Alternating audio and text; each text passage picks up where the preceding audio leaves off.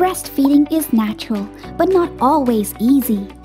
In Vietnam, 94% of births take place in hospitals, but only 27% of newborns are breastfed within the first hour after birth.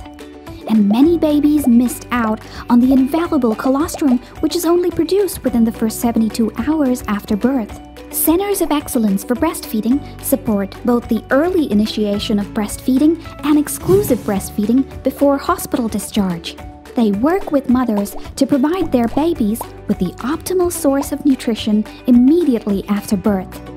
Centers of Excellence for Breastfeeding correctly practice early essential newborn care, ensure skin to skin contact between mother and baby for 90 continuous minutes, and making sure they room in together in the hospital.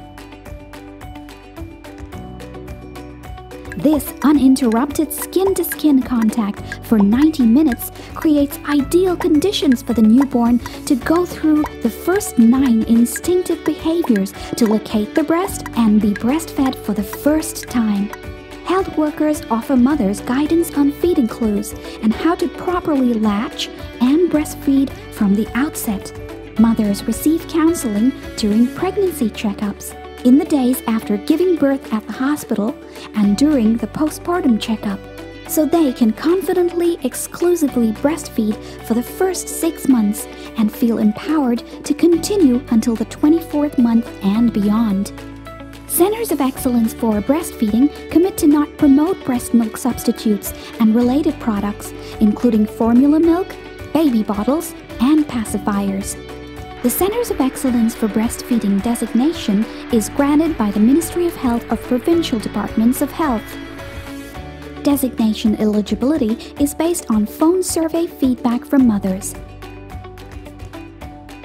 and on assessments conducted by the Ministry of Health and Provincial Departments of Health in collaboration with Alive and Thrive. After receiving the designation, Centers of Excellence for Breastfeeding conduct their own annual assessments, while the Ministry of Provincial Departments of Health organize quarterly surveys with mothers over the phone and coordinate external assessment every five years. You can be confident that coming to a Center of Excellence for Breastfeeding means your baby will have a healthy start with breastfeeding. Is your hospital a center of excellence for breastfeeding?